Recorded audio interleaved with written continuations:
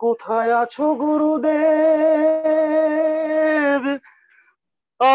আমি জানি না। কোথায় আছো গুরুদেব? আমি জানি না। তোমার করুণা ছাড়া কিছু চাই না। তোমার করুণা ছাড়া কিছু চাই না। কোথায় আছো গুরুদেব? আমি জানি না। তোমার করুণা ছাড়া কিছু চাই না। অসাধারণ। তোমার সাথে তোমার গুরুদেবের প্রথম যে আলাপ হয়েছিল বম্বেতে তুমি একাধিক বার চেষ্টা করেছিলে স্টুডিওতে গিয়ে ওনাকে মিট করবে বলে এবং সেই আশাতেই তোমার বম্বে যাওয়া। তুমি অনেক কষ্ট করে ট্রেন লাইনের পারে থেকে কোনো মতে একদিন সুযোগ পেয়েছিলে। সেই সুযোগের ঘটনাটা যদি ছোট্ট করে আমাদের একটু বলো। দেখো তখন এটা উনিশশো চুরাশি সাল কি শেষ কি পঁচাশি সালে শুরু হবে? আমার ঠিক সময়টা মনে নেই। ওই সময়টা হবে। তখন আমি বম্বেতে থাকতাম। চুরাশি সাল থেকে আর আমি চলে এলাম সাতাশি সালে কিশোর কুমার মারা গেলেন আমি অষ্টআশি সালে চলে এলাম বম্বে থেকে। অ্যাকচুয়ালি আমি তো বম্বেতে আমার কেরিয়ার গড়ার জন্য যাইনি। গিয়েছিলাম কিশোর কুমারকে দেখি কেমন ভাবে চলেন কেমন ভাবে হাঁটেন কেমন ভাবে কথা বলেন কীরকম ভাবে গান গান কতটা মাইক্রোফোন উনি কীভাবে মাইক্রোফোনটাকে ব্যবহার করছেন এসব শেখার জন্য। যদিও তার টেন পার্সেন্ট তো শিখতে পারিনি কিন্তু ওই করতে পারি। ওই খুব ইচ্ছে হতো যেখানে তখন না বম্বেতে একটা বই পাওয়া যেত ছোট ছোট বই। বম্বে বিটি স্টেশনে তোমার বই বিক্রির দোকান ছিল। সেখান থেকে ছোট বই পাওয়া যেত।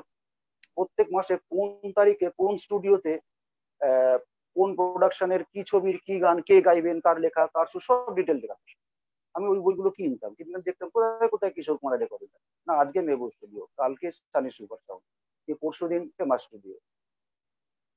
এরকম আর তো দেখে দেখে সে যেখানে হতো সেখানে দৌড়তাম। আলাপ আর হয় না আলাপ আর হয় না সাহস করে যেতেও পারি না। তারপরে একদিন মেহবুব স্টুডিওতে ওটা কার ছবির গান ছিল এই মুহূর্তে মনে নেই। মেহবুব মেহবুব স্টুডিওর রেকর্ডিস্ট ছিলেন অভিনন্দন ঠাকুর। হ্যাঁ।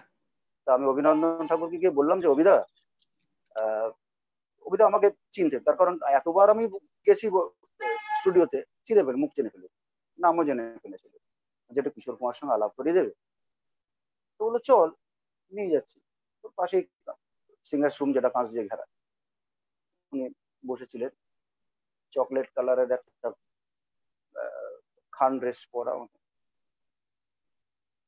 বুঝতে গিয়ে বললেন যে এরকম কিশোরদা এর নাম গৌতম। গৌতম ঘোষ কলকাতা থেকে এসছে। কলকাতায় থাকে, ও গান গায়, এবং আপনারই গান গায়।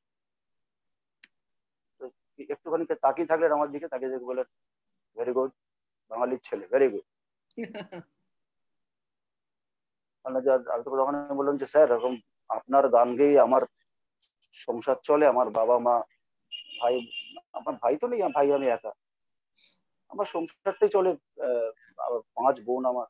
পুরো সংসারটাই চলে আপনারই গান দিয়ে যা পয়সাই খাওয়া হয় বলল, তুমি আমার গান গাও, খুব ভালো কথা। তো দেখি কীরকম গান গাও আমাকে শোনাও তো একটু দেখি কেমন গাও। এবারে দেখো আমার ভগবান আমার ঈশ্বর আমার কাছে আমার তার গাওয়া গান আমার কাছে শুনতে চাইছে আমার তো হাত পা কাঁপা শুরু হয়ে গেছে। সর্বনাশ করেছে কি গাই চোখ দিয়ে জল পড়েছে তাই তুমি মেরে নেনা সাবান ভাদো গিয়েছিলে? না চোখ দিয়ে জল ওই জন্য হয়নি। হঠাৎ করে আমার সেই ওই যে প্রেশার কিশোর কুমার ওই প্রেশার হট করে আমার মাথায় চলে এলো সেই মুহূর্তে তখন আমি ওই মেরে নানা সাউন্ড মতো চার লাইন শুনেছি ওই চার লাইন আমরা একটু শুনি আগে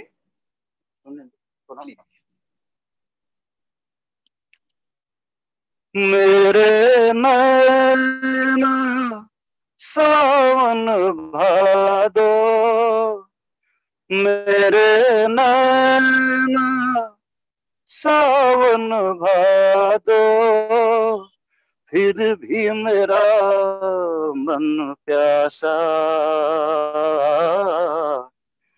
फिर भी मेरा मन प्यासा গানটা শুনলেন উনি শুনে বললেন দেখো দেখো সত্যি কথা তার আগে বললেনই একটা ছেচল্লিশ বছর গান গাইছি সবকিছু তো একটা ক্ষয় আছে এখন যদি একটা কেউ আমাকে বলে যে, আপনি কুড়ি বছর বয়সে যেরকম ভাবে দৌড়তেন সেরকম দৌড়ুন তো, আমি কি পারব দৌড়তে? পারব।